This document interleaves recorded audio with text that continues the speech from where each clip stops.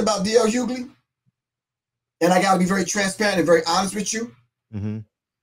The brother had the balls enough to call me because I put my phone number out there. I saw that. I saw that. I, I saw was like, I'm like, oh, you want to talk? I'm like, oh, okay, hold on, give me a few minutes, let me get home and drop the wife and kids off.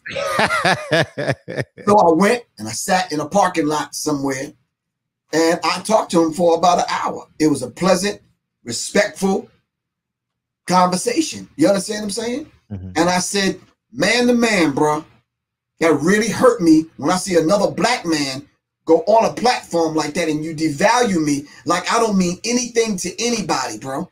I would never do that to you, DL. Regardless of what I thought about you, and I don't really know you, but I wouldn't do that. Now, there's a few things I could have talked about about you, but I don't do that to people, bro. And I don't do this childish ass tit for tat thing, man. I said that's really wrong, and you owe me an apology. I'm not asking you for one.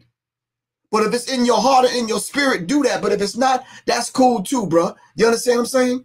But in a minute, dude, Negroes like you are not gonna be able to do that. I'm just letting you know. Mm. I asked for a thousand strong soldiers. Shit, I got 300 people that call me and text me, man. Uh. So yeah, it was really, really a real conversation I had with the brother, and you know, that was it, man. And it was like, and I was, I think I was so heated that night. I I did my live. I was like, man, dude, you don't even understand, bro. Mm. You don't, you don't, you don't even understand the power of the thing that I put in place, helping to build Sheesh. institution called Public Enemy. Sheesh. Putting money on brothers' books that got, you know, 10, 15 years. Them brothers are out on the street now, bruh. And they feel that they owe Griff. So if I gave the word, you dead ass. I'm gonna leave that alone. How shout out to Dream Cooking. Peace and salute the OG, Fred and the fan. How did he respond to you owe me an apology and and you holding firm on on your stance? No, to be honest with you, he held firm on his. He was just basically like, that shit wasn't doing Nick Cannon no good. I said, bro, I don't really know Nick Cannon like that. Mm, I, I don't, and I didn't tell Nick what to say.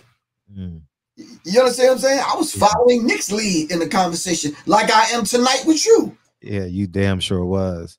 I was just quiet. I was humble. I'm in somebody else's living room, classroom. I'm showing respect. Yes, sir. I didn't speak out of turn. I was like, that's this brother's classroom, man. Yeah, and and and you know what I took from that? Uh, you made a statement in